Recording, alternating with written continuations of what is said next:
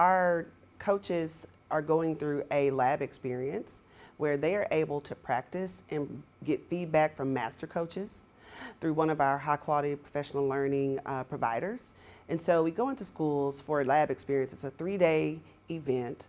Teachers are able to partner with a coach, and that coach is providing them with feedback um, based on observations and goals set by the teacher.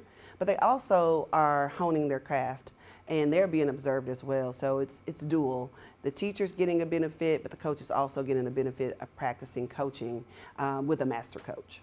They have um, expressed that it's deepened their understanding and how to really be good listeners when teachers are sharing their needs and how to really lead them, um, them as in teachers, to um, meet their goals that they've set individually. And so it just gives them that opportunity to go deeper in their practice, to ask questions, and to use the tools that they've gotten in training in a real life situation. So throughout the year, at least two times, each coach gets a chance to practice their skills with a master coach, providing them with feedback.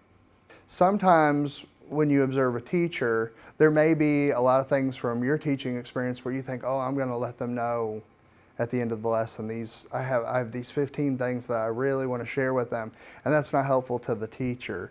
Uh, and through that practice with the co other coaches, we've gotten a chance to really focus on that one thing with that teacher. We've been given a number of tools that have really helped us, um, and it could be debriefing conversations.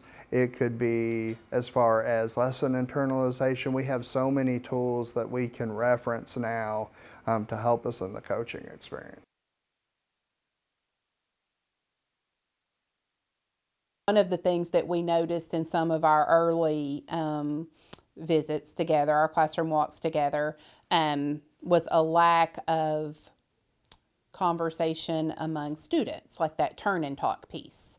And so that was something that um, our coach pointed out um, and then on subsequent visits, when we have gone back in, we have definitely seen more teachers implementing and using that strategy. We want to see um, our test scores and our letter grade improve, um, and we feel like um, that we have a lot of great things, you know, in, in place here um, with our HQIM, um, with our coach, with our existing staff.